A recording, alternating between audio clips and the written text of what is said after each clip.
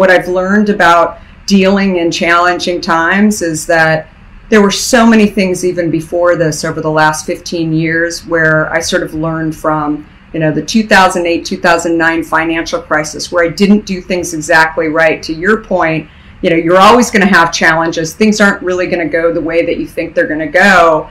But you know you learn things and it's important to look at those things that you learn because they will help you be a better leader human going forward